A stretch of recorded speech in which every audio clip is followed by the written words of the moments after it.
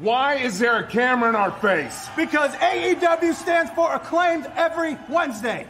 Why do you two not have a match on Dynamite? Because everyone loves the acclaimed and no one wants to fight us, daddy ass. What are you two going to do about it? I have an idea. I have What- an idea, daddy ass. Well, would you like to let us all know? This Friday night on Rampage, That's right. we give a tag title shot That's right. to the best tag team in AEW. That's right.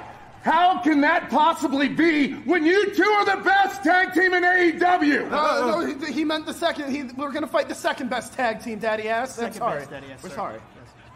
Okay, well, I guess there's only one thing left to do, and that is to scissor Daddy Ass.